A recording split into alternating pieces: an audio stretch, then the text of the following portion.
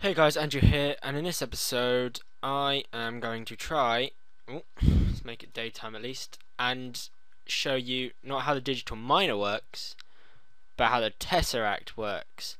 I'll do a tutorial on this another time in a different video, because it's actually really simple. So what I have set up here is Creative Energy Cell. So this works on Redstone Flux or Minecraft Joules, which is really helpful. And um, you can use I'm not even, why am I explaining what this is? So what I'm going to do is I'm just going to quickly delete that. So just going to quickly that's how to mine all ore. So that's just that. Gonna keep it really simple. And yep and auto eject is on.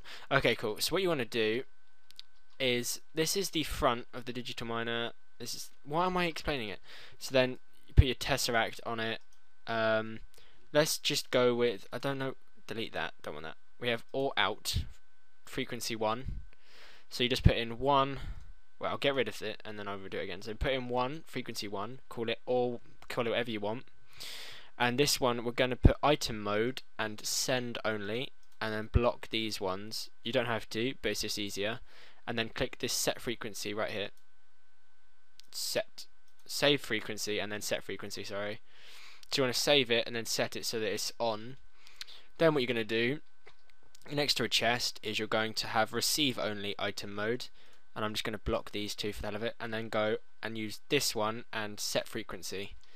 Now I've put down this iron ore here. So what's going to happen is when I start it mining it says 30 to mine and this should go down like so, and it's mining it, and it has been teleported into this chest. Simple as that. So you can use these to go between dimensions.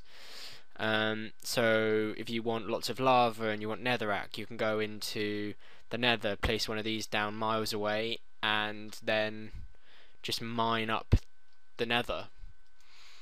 Uh, go somewhere that's just cobblestone, mine up all the cobblestone. Simple as that.